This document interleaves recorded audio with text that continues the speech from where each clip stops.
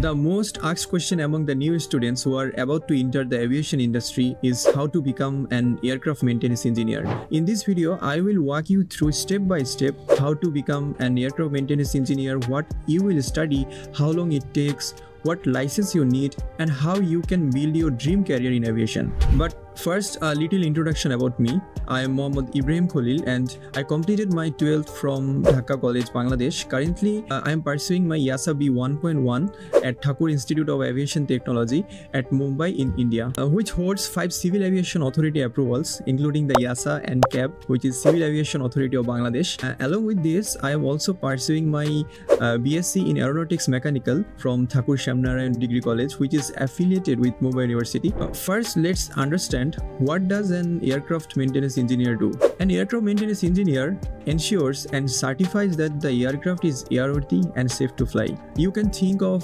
AMEs as the doctors of the aviation world. Uh, they ensure the health and the safety of the aircraft before every flight. Now, many students get confused between the aircraft maintenance engineering and the aeronautical engineering. While I will make a detailed video about the differences later, but in this video, I will strictly focus on aircraft maintenance engineering. What it is, is what an aircraft maintenance engineer does and requirements and everything else you need to know. How can you become a licensed aircraft maintenance engineer? Where will you find jobs and the future career opportunities in aircraft maintenance engineering? Also, last, should you choose this career path? So let's get started. Step 1 Understanding what an AME does. An aircraft maintenance engineer is responsible for inspecting, maintaining, and certifying an aircraft to ensure that it is safe for flight. You become the final authority before the aircraft takes off. It's a job of precision, responsibility, and trust. Without AMEs, planes simply can't fly.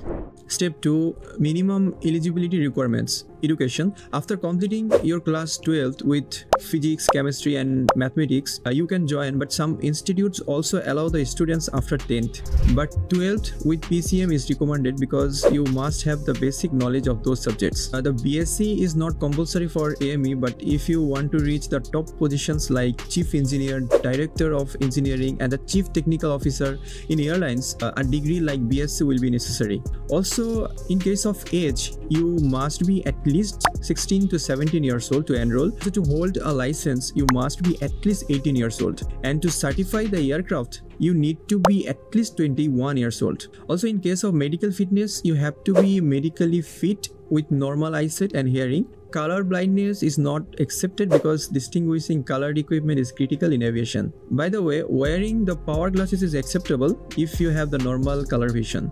Step 3. Choosing the right course and the license. Before enrolling, you have to understand just two key terms. So part 147 and part 145. Part 147, uh, these are the aviation authority approved institutes uh, authorized to train you, also conduct the exams and issue the certificates of recognition. Uh, also in case of part 145, they are just approved maintenance organizations where the real aircraft maintenance and the repair work happens. Always you have to choose a part 147 approved institute whether it can be EASA or it can be your local civil aviation authority. Uh, for an example, in case of Bangladesh, it's Civil Aviation Authority of Bangladesh because only they can provide uh, the training and the necessary exams for an AME license. Your course will have about 50 to 60% theory and 40 to 50% practical, including at least 20% actual environment training. Uh, this is a course of 2400 hours which should be completed within 2 years depending on the institute to institute. Step 4. The modules and the exams.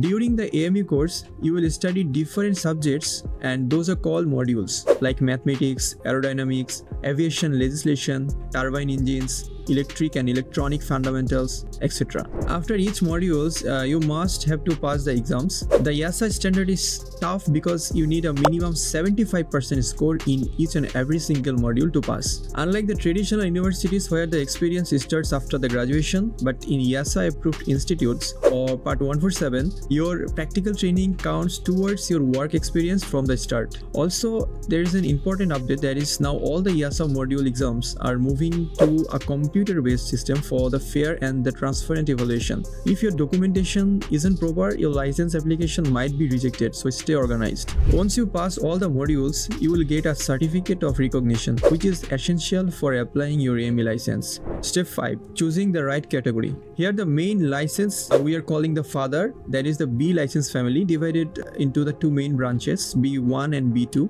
B1 is the mechanical branch that we are calling the father and B1 license deals with the aircraft structure, engine and the mechanical systems. Uh, B1.1 those engineers who will be getting the B1.1 license will be dealing with uh, aeroplanes with the turbine engines. For an example the Boeing 737 or Airbus A320 uh, also B1.2 is there. B1.2 deals with the aeroplanes with the piston engines. For an example the small training aircraft like Cessna 172 in case of B1.3 helicopters with the turbine engines will be there for an example the big helicopters like Sikorsky or the Agusta, etc.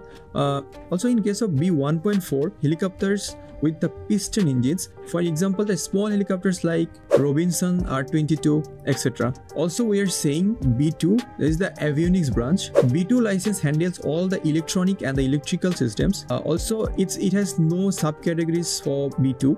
For B2 license holder we'll be dealing with the radios, navigation, and the autopilots, etc. And also, there are some other license categories like category A. Category A is for the basic maintenance license, only simple part replacements and servicing tasks. And also there category C. Those who will have the category C license, they can certify the full aircraft after the big maintenance checks or for the base maintenance. For the category C, you need to have a lot of experience. A simple way to understand is category A for the small repair license, category B1 is for the mechanical engineer like engines, structure and B1.1 is for the big planes like jet engines. Category B1.2 is for the small planes for the piston engines. Category B1.3 is for the big helicopters like jet engines and category B1.4 is for the helicopters. Category B1.4 is basically for the small helicopters with the piston engines and category B2 is for the avionics engineer. It's for the electronic and the instruments and category C we can say Category C license holder is a certifying officer after the full maintenance. Most students choose B1.1 or B2 because of the better career opportunities worldwide.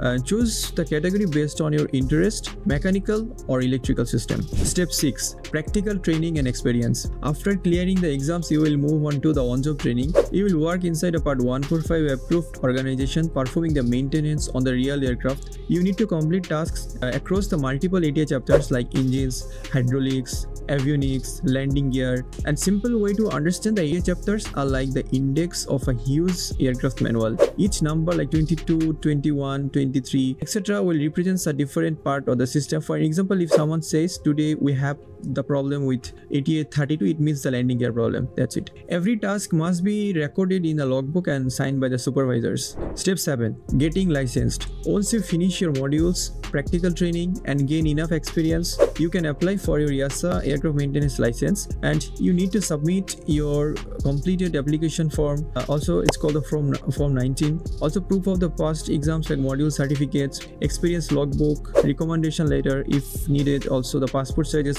photographs, passport or the ID proof, medical fitness certificate. Sometimes it required uh, like application fee receipt, personal work experience validation, previous license copy if applicable. You have to submit those documents to the CAA or NAA so that they can check and verify those documents and if everything alright then they will issue your license. Also, they will send it to your given ID address. So then you are the license engineer and later in some other video, I will try to cover all about type training. Finally, why you should choose the AME as a career. Uh, if you are the aviation lover, airplanes and the fixing things and aircraft maintenance engineering is just an exciting and well paid and respected career. You will get the jobs faster. The airlines always need the skilled workers. Uh, you can earn a good salary. Also, you will have the opportunities to work abroad. You will always be a part of the fascinating world of the aviation. If you are passionate about the aviation, AME can be your gateway to a bright and adventurous future. Thank you for watching and if you found this video helpful, please make sure to like, comment and subscribe for the more aviation related content.